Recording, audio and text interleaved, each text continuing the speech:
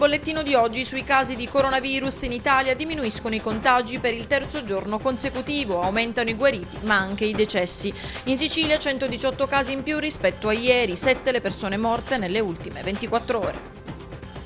A Paternò primo caso di Covid-19, in città restano tante, troppe le auto in strada, occorrono più controlli. Il sindaco Nino Naso interviene dopo il primo caso registrato a Paternò ai cittadini chiede di restare a casa. In merito all'emergenza Covid-19 ai nostri microfoni l'onorevole Gaetano Galbagno ha voluto intervenire facendo il punto dell'attuale situazione in Sicilia, partendo da Messina fino ad arrivare a Paternò. C'è preoccupazione anche in provincia di Enna per l'aumento dei contagi, blindato il territorio comunale di Agira dichiarato zona rossa, apprensione anche a Troina dove si teme che possa aumentare il numero dei soggetti positivi. Al riguardo abbiamo sentito il sindaco di Troina, Fabio Venezia. È di fondamentale importanza donare sangue, per questo motivo abbiamo documentato nel rispetto delle regole tutta la fase di donazione. E di donazione ci parlano il presidente del gruppo donatori volontari di sangue di Paternò Filippo Castro e il dottore Salvo Platania, primario del reparto. A Motta Sant'Anastasia una ex badante avrebbe chiesto aiuto alla sorella e al cognato per estorcere del denaro al nipote della signora per la quale aveva lavorato, ad essere preteso il pagamento della tredicesima.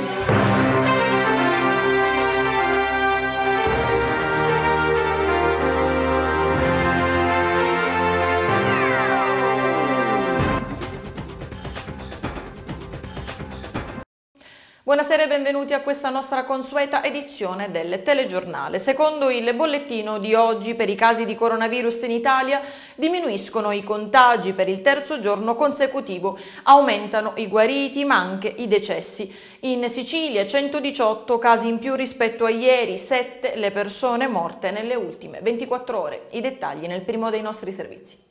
Diminuiscono per il terzo giorno consecutivo i contagi, ma oggi è aumentato rispetto a ieri il numero dei decessi. Il nuovo bollettino sull'emergenza coronavirus in Italia, diramato dalla Protezione Civile Nazionale, ha detto che nelle ultime 24 ore sono morte 743 persone, 142 in più rispetto a ieri. Aumentati anche i guariti, 804, ieri erano 408, dunque un più 396. I contagi in più rispetto alla giornata di ieri sono 3.612, ieri erano 3.780. Complessivamente sono guarite 8.326 persone, 6.820 le persone morte con l'Italia che resta il paese al mondo con il più alto numero di decessi. Attualmente le persone positive al Covid-19 sono 54.030, 21.937 le persone ricoverate in ospedale, 3.393 in terapia intensiva, dunque il 6%, 28.697 in isolamento isolamento domiciliare, 69.176 le persone che hanno contratto il virus tra positivi, guariti e decessi, 296.964 i tamponi effettuati. La Lombardia la regione più colpita anche se i casi sono leggermente diminuiti rispetto a ieri. In Sicilia rispetto alla giornata di ieri si registrano 118 casi in più, ma la metà dei nuovi casi positivi riguardano il focolaio di Villafrati nel Palermitano dove risultano positive 69 persone in una casa di riposo, 799 le persone persone attualmente positive al Covid-19 nell'isola, 327 ricoverati, 67 in terapia intensiva, 7 in più rispetto a ieri, 462 le persone in isolamento domiciliare, 27 i guariti, 20 i decessi, 7 in più nelle ultime 24 ore. La provincia di Catania registra 272 casi e resta quella con più positivi al Covid-19 nell'isola. L'incremento però rispetto a ieri è stato solamente di 9 casi, dunque un aumento molto contenuto, 7170 infine infine i tamponi validati dai laboratori regionali. A Paternò primo caso di Covid-19 in città restano tante troppe le auto in strada, occorrono più controlli. A Paternò, primo caso di Covid-19. Si tratta di un impiegato già da alcuni giorni a casa. L'uomo è stato portato in ospedale con evidenti difficoltà respiratorie l'intera famiglia è stata sottoposta in quarantena. Anche per loro verrà effettuato il tampone. Contattate anche le persone che nelle ultime settimane hanno avuto contatti con il nucleo familiare ed in città da ieri mattina ci sono in circolazione molti più mezzi rispetto alla scorsa settimana. In una città poco abituata ai controlli, al rispetto delle regole, l'assenza costante, quasi ossessiva di attività delle forze dell'ordine fa emergere il lato negativo, il non rispetto per principio. Le immagini che vedete sono state girate questa mattina in più punti della città. La sensazione che si ha è che restano troppi i mezzi per strada e crescono i numeri di contagiati anche nei comuni del comprensorio. A Belpasso sono saliti a 7, a Motta Sant'Anastasia si registrano i primi due contagi. In questo clima si guarda alla preparazione della sanità del territorio. I deputati regionali di Fratelli d'Italia, Gaetano Galvagno ed Elvira Amata, hanno presentato una mozione all'ARS dove si chiede per gli ospedali di Paternò e Giarre attrezzature per il pronto soccorso e il Covid Hospital.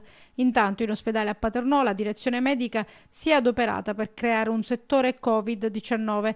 È stato chiuso al momento il reparto di otorino-laringoiatria alla luce del fatto che in ospedale in questo momento è sospesa l'attività ambulatoriale e si possono effettuare solo interventi chirurgici urgenti. E il sindaco di Paternò, Nino Naso, interviene dopo il primo caso registrato a Paternò ai cittadini chiede di restare a casa. Sindaco, a Paternò, primo caso di Covid-19, come ha reagito la città? Ah, c'è paura, ma eh, sicuramente qualcuno pensava che era lontano. L'abbiamo detto, l'abbiamo, eh, l'ho detto in mille lingue, in tutti i modi, gridando forte. Eh, è un virus invisibile che colpisce senza che tu nemmeno te ne accorgi ed è pericolosissimo. Io ho fatto gli auguri al nostro concittadino, eh, mi dicono che, che sta bene, eh, spero che presto si rimetterà, però chiamo tutti alla responsabilità. Il virus colpisce solo, solo se c'è il contatto. Quindi qual è la medicina? Lo ripeto e non mi stancherò mai di dirlo. Stare a casa.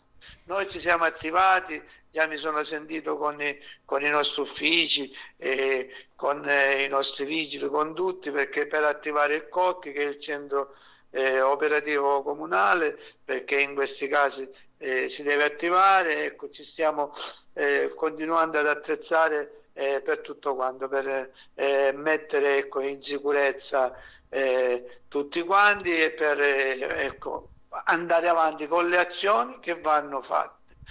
Sindaco, in, in, città le volevo dire anche questo, in città da ieri sembra insomma, che ci sia molta più gente per strada, sia ieri che oggi, come mai, che cosa pensa stia accadendo? E poi insomma anche i controlli forse si sono un po' allentati? No, i controlli non si sono allentati per niente, le forze dell'ordine eh, sono quelle che sono, quelle che abbiamo e c'è un, un, grande sforzo da parte di tutti. Non è, una, non è che è finito sabato e domenica e la gente eh, si è convinta, questo mi è, eh, uscendo ieri, andando, andando, al comune dove ho, ho, avuto ulteriore, ho dato ulteriore disposizione, ho visto che c'era eh, un po' di movimento in più. Non siamo, siamo, questo è come una guerra che noi non vediamo, è una guerra invisibile. Io ho chiesto anche, ho mandato una lettera al, a Sua Eccellenza il Prefetto per vedere se eh, ci può arrivare, possono mandare anche qui eh, dei soldati eh, perché possono aiutare, ecco l'esercito può aiutare eh, nelle attività eh, le nostre forze dell'ordine, i nostri carabinieri, la finanza, la polizia eh, e i nostri vigili urbani che veramente eh, si stanno spendendo. Io ieri ho mandato ulteriori eh, controlli, stanno controllando eh, tutti quanti le attività commerciali, li ho rimandati in, eh, nei call center. Ecco, stanno veramente lavorando senza, senza risparmiarsi, ma ci vuole la collaborazione eh, dei cittadini. Io devo, registro oggi che è venuto un istituto di vigilanza che ha dato la disponibilità eh, abbiamo, l'abbiamo anche de, deliberato eh, per fare dei, un, ecco, una sorveglianza gratuita nelle ore notturne che sapete che c'è stato qualche imbecille scalmanato che ha danneggiato qualche auto e qualche altro atto vandalico. Vedo questa generosità da parte della gente, ma io li chiamo sempre al grande senso di responsabilità. Noi ce la stiamo mettendo veramente tutta, ma vogliamo, ma chiediamo, ma ci deve essere perché c'è tolleranza zero. La collaborazione da parte di tutti i cittadini diventa fondamentale. Avete visto, è arrivato. Eh, l'altro giorno l'abbiamo registrato a Belpasso, ne è arrivato uno da uno, sono diventati sette.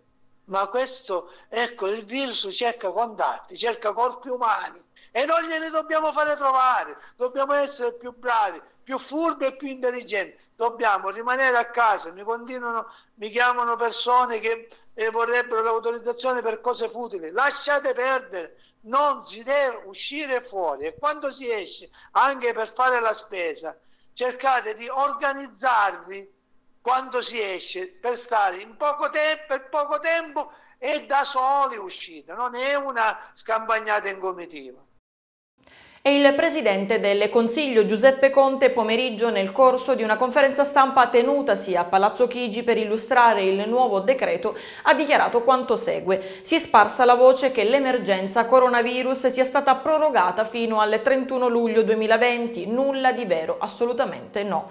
A fine gennaio, ha specificato Conte, abbiamo deliberato lo stato di emergenza nazionale. L'emergenza è stata dichiarata fino al 31 luglio. Non significa che le misure restrittive saranno saranno prorogate fino al 31 luglio. Si tratta solo di spazio teorico, ma ho fiducia che tutto finisca prima. In merito alle, regione, alle regioni, Conte ha inoltre dichiarato abbiamo regolamentato in modo lineare i rapporti tra gli interventi del governo e le regioni. I presidenti delle regioni e delle province autonome possono adottare misure più severe in caso di necessità. Ovviamente rimane la funzione di coordinamento da parte del governo. La competenza sulle misure restrittive deve essere dello dello Stato. Gli alimentari saranno sempre garantiti, vale anche per i carburanti, sarà assicurato il rifornimento. La multa per chi viola le regole anticontagio salirà da 400 a 3.000 euro. In merito all'emergenza Covid-19 ai nostri microfoni l'onorevole Gaetano Galvagno ha voluto intervenire facendo il punto dell'attuale situazione in Sicilia partendo da Messina e arrivando fino a Paternò. Sentiamo. Siamo in collegamento telefonico con l'onorevole Gaetano Galvagno per fare un po' il quadro generale di quella che è la gestione di questa emergenza coronavirus. Onorevole, facciamo un po' il punto della situazione, partiamo da quella che è l'emergenza gestita a Messina per poi arrivare invece a quella che è la situazione che vede Paternò gestire questa situazione di difficoltà. Sì, buonasera a tutti, eh, grazie per questo intervento sulla questione di Messina, sono stato tra i primi a segnalare lo sfogo dell'amico sindaco Cateno De Luca su Facebook. Con lui, insieme al collega eh, Danilo Lo Giudice, mio amico personale e collega deputato di Santa Teresa di Riva, ci siamo sentiti a più riprese per cercare di monitorare il flusso inaccettabile che c'è stato a discapito di tutte le persone che in questo momento stanno, stanno barricate a casa. Io faccio un semplice eh, ragionamento partendo dal fatto che a Roma non si può pensare minimamente eh, di fare prima una conferenza stampa e poi firmare un decreto. Non si può pensare di mettere in ginocchio le prefetture e le forze dell'ordine. Quando si scrive un decreto si deve pensare agli effetti che produce e come metterlo in atto. Io eh, ieri non le nascondo che sarei potuto andare tranquillamente a Messina e stare fisicamente accanto al sindaco, possibilmente fare, prendere qualche like in più, ma ho preferito rimanere responsabilmente a casa e fare passare il messaggio che tutti dobbiamo rispettare queste ordinanze. Bisogna rimanere a casa, denunciamo se c'è qualcuno, fu- se c'è qualcuno fuori, facciamo gioco di squadra, aiutiamo tra l'altro il nostro sindaco che molto si sta spendendo per cercare di sensibilizzare i nostri concittadini. Onorevole, per quello che riguarda il settore della sanità, un suo intervento fa riferimento a quella che è l'attuale situazione vissuta all'ospedale Santissimo Salvatore di Paternò.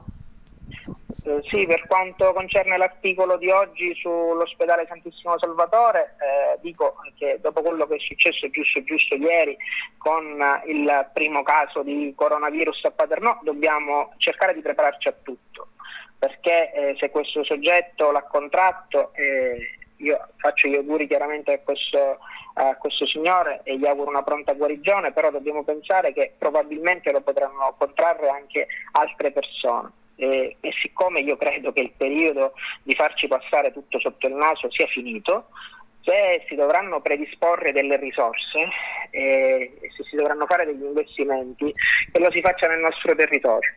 Eh, diciamo che siamo in emergenza oppure è solo uno slogan? Siamo in emergenza e se siamo in emergenza si dovrà fare e se si dovrà fare una terapia intensiva o se si devono eh, investire ingenti risorse, io credo che l'ospedale di Paternò ha delle zone che in questo momento sono inagibili, ma con uh, i giusti accorgimenti, attivando tutti per poterlo riqualificare, io credo che l'ospedale di Paternò possa essere sicuramente di supporto e non in contrasto, perché noi non siamo per il campanilismo, non vogliamo assolutamente creare questo genere di competizione o di odio negli altri ospedali vicini, ma può essere di supporto a, eh, all'ospedale di, di Biancaviglia. Quindi siccome noi abbiamo la possibilità, io mi auguro di no, attenzione, mi auguro che questo momento finirà quanto prima e che non ci sarà assolutamente bisogno, ma dopo quello che sta accadendo io credo che dobbiamo prepararci necessariamente a tutto. Io eh, vorrei fare, eh, concludo dicendo che vorrei fare un ringraziamento veramente a tutte le persone che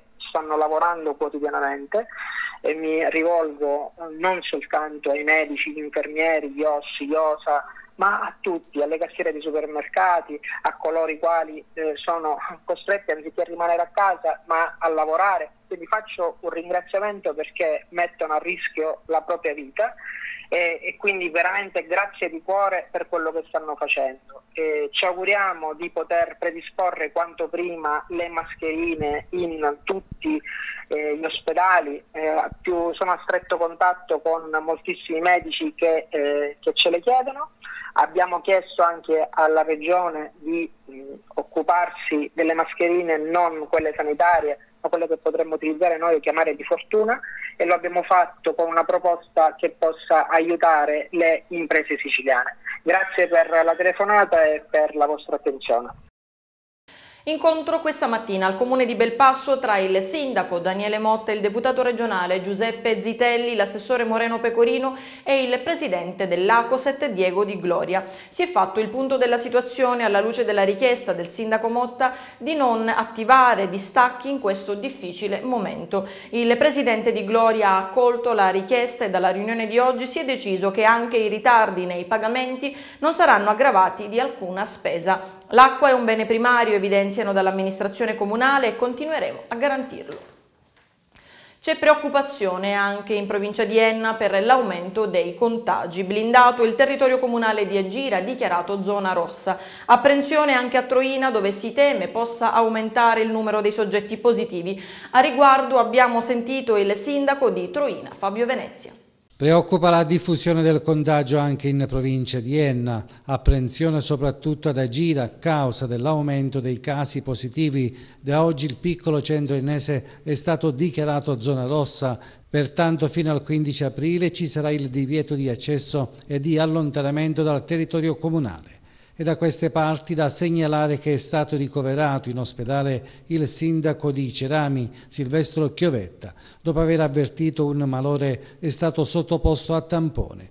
E c'è preoccupazione anche a Troina dopo i casi positivi registrati all'Istituto Oasi Maria Santissima. Al riguardo abbiamo sentito il sindaco di Troina, Fabio Venezia. Al telefono abbiamo il sindaco di Troina. Sindaco, ci dice com'è la situazione allora nel suo paese?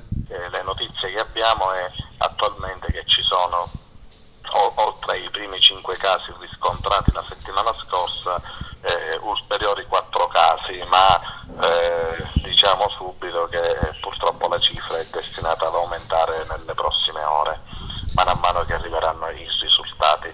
Si stanno mettendo in campo tutte le azioni che umanamente è possibile fare con la nostra protezione civile, noi stiamo lavorando per garantire i servizi, abbiamo requisito un hotel per mettere in isolamento i dipendenti più esposti in modo tale che non rientrano a casa e mettono in pericolo i propri cari e l'intera comunità e proprio ieri pomeriggio il Presidente della Regione ha nominato un commissario uh, di supporto all'attività di emergenza dentro l'Ovasi.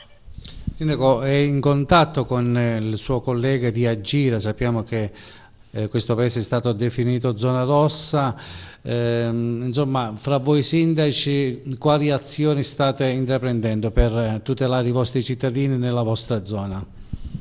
Ecco, noi siamo in contatto tra di noi, ecco, ci consultiamo, ci consigliamo per le azioni da prendere anche insieme.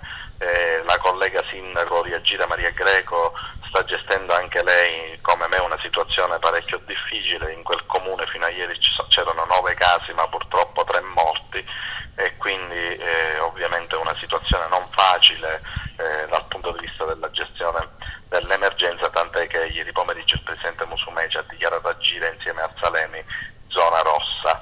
Quello che si evidenzia è che purtroppo iniziano a scarseggiare i dispositivi di protezione, iniziano a scarseggiare le materie prime per la, eh, la gestione dell'emergenza, manca alcol, mancano eh, disinfettanti, mancano presidi e tutto questo ovviamente non ci fa ben pensare per i prossimi giorni e le prossime settimane quando si prevede possa arrivare il picco in Sicilia, cioè a metà aprile. Per concludere, cosa possiamo dire dell'Oasi di Troina? Lavorando con grande impegno, il commissario, il dottor Giuseppe Murolo, è già al lavoro con l'equipe eh, scientifica dell'OASI, la direzione sanitaria, sia io che l'amministrazione e la protezione civile siamo a supporto del dottore Murolo in, in questo delicatissimo compito, serve eh, ovviamente eh, dire, la, la giusta preparazione per affrontare questa emergenza sanitaria interna all'OASI e eh, sono certo che si sta facendo quanto è possibile fare. Eh, I dipendenti dell'OASI sono in questo momento sulla prima linea del fronte perché ci sono circa 180 eh, disabili, alcuni anche molto gravi che non possono essere lasciati da soli e quindi eh, dire, sono a questi nostri eh, eroi di questa emergenza vogliamo rivolgere un pensiero grato e commosso per il loro straordinario impegno e lo spirito di abnegazione che stanno mettendo in campo in questi giorni. Cambiamo argomento, la Corte d'Appello di Catania ha disposto il dissequestro di tutti i beni di Mario Ciancio Sanfilippo che era stato disposto dalla sezione misure di prevenzione del Tribunale. Tra le motivazioni dei giudici di secondo grado anche la mancanza di pericolosità sociale dell'editore e imprenditore.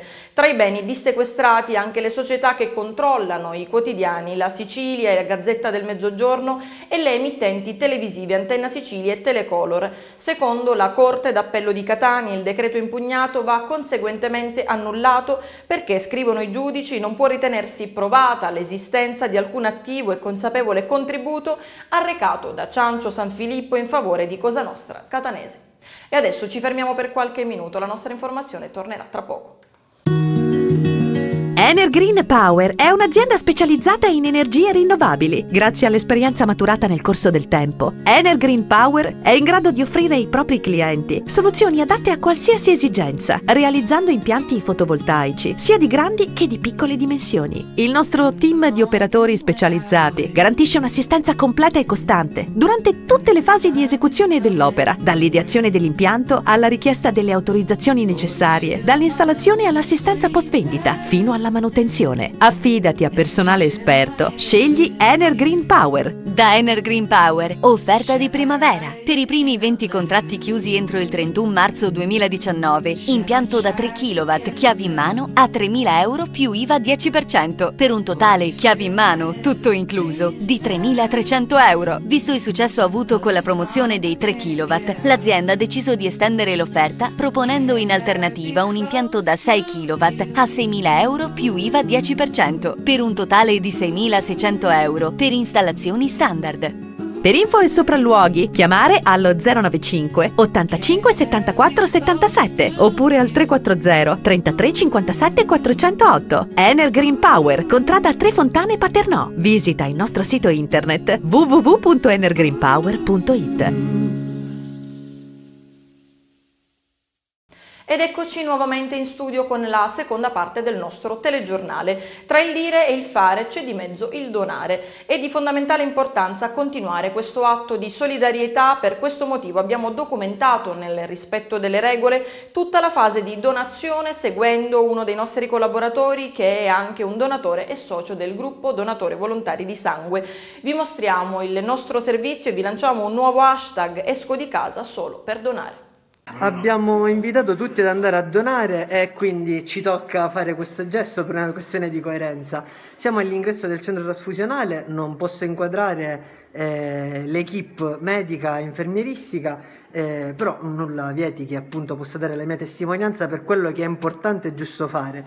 Siamo all'ingresso, mi hanno appena preso i valori che riguardano la temperatura, mi hanno invitato ad igienizzarmi le mani con il disinfettante, come potete vedere, e adesso ci avviamo verso l'ingresso per eh, fare tutti quelli che sono i moduli abituali del donatore. Stiamo misurando la pressione vi ricordo che tutto avviene nel massimo, eh, nella massima attenzione di quelli che sono i protocolli da adottare in una situazione del genere come quella che stiamo vivendo, quindi il personale sanitario mantiene comunque sia le giuste distanze, eh, come potete vedere adoperano sempre guanti, ma questo a prescindere e adesso vedremo se è possibile effettuare la donazione subito dopo i primi controlli. La pressione va bene. Adesso controlleremo l'emoglobina, dopodiché andrò in un'altra stanza in cui il medico di turno farà tutta una serie di, di domande, controllerà i valori che eh, gli, verranno, gli verranno portati e dopo finalmente potremo donare. I livelli di emoglobina vanno bene, quindi adesso ci trasferiamo dal medico e dopo via per la donazione. Le prime fialette di sangue saranno quelle che verranno usate per, per l'analisi. Durante il colloquio il, il medico ha stampato dei codici che verranno applicati sia alla sacca che alle fialette, quindi per certificare che è lo stesso sangue che proviene dallo stesso donatore e queste saranno proprio le prime provette che verranno utilizzate poi per, per poter analizzare il sangue. L'ago sembra grosso, ma vi assicuro che non fa male, anche perché gli infermieri sono molto molto bravi, quindi non abbiate paura del lago, ecco. Stiamo vedendo le operazioni preliminari eh, la parte del lago la saltiamo per ovvi motivi, non vogliamo urtare la sensibilità dei, dei, nostri, dei nostri spettatori. Ecco qui le provette, la possiamo fare vedere.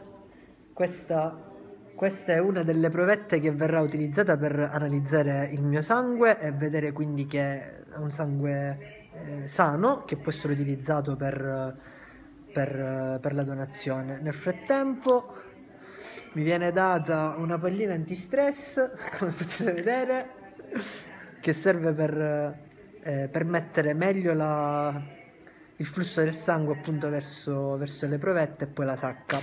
E allora abbiamo finito il processo di donazione, quindi la sacca è pronta, adesso si provvederà a liberarmi dal laccio emostatico e del, e del lago. Abbiamo finito la nostra donazione, la sacca del mio sangue è già in viaggio verso il laboratorio di analisi. Eh, come potete vedere questa è la medicazione di fine donazione e adesso possiamo toglierci la mascherina perché qui al centro trasfusionale i pazienti si coccolano, giusto? E quindi ci viene offerta una dolce colazione che possiamo consumare qui.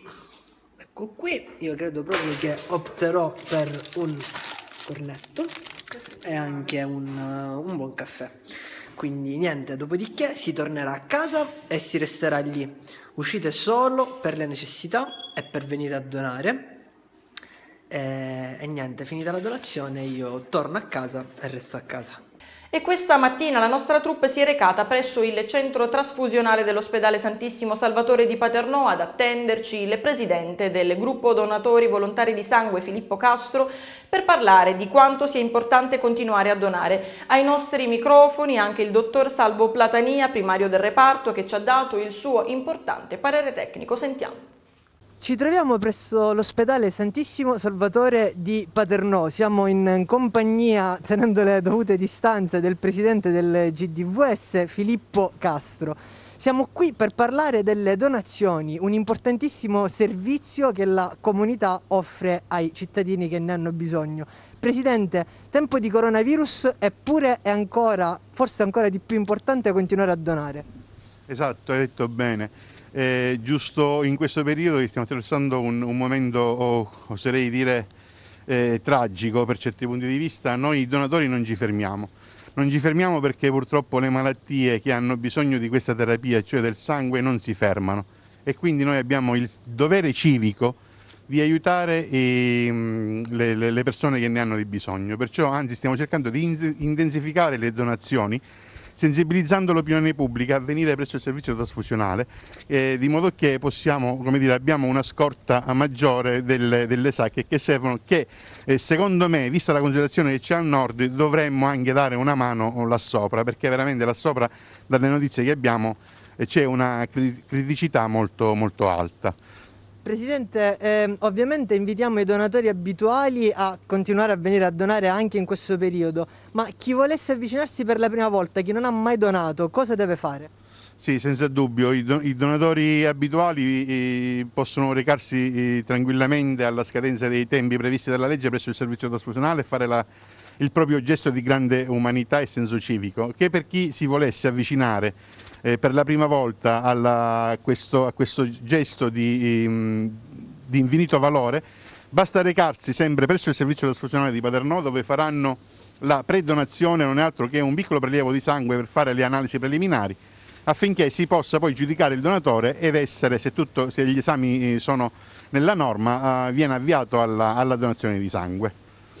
Eh, mi preme dire che eh, siamo, il servizio trasfusionale lavora nella sicurezza eh, assoluta e totale con tutte le precauzioni che il, il, mh, eh, lo Stato ci, ci, ha dettato e quindi eh, vi assicuro che eh, dire, siamo ligi a, a, queste disposizioni che ci hanno impartito sia il Ministro della Sanità sia la Regione, quindi a vario livello, eh, come dire, ehm, ehm, noi siamo, ci atteniamo um, scrupolosamente a queste, ehm, a, a queste disposizioni. Intanto buongiorno e grazie per averci dato questa opportunità al, al centro trasfusionale di Paternò e di Caltagirone, a tutta, a tutta l'azienda perché è importante in questi giorni, come ha detto lei, appunto di emergenza di eh, coronavirus, di questo nemico invisibile, come appunto viene definito ormai da, dai media, perché appunto patologia virale, eh, darci la possibilità di dire, prima di tutto, che eh, le misure che abbiamo adottato con eh, il supporto e con l'attenzione della, della direzione strategica sono misure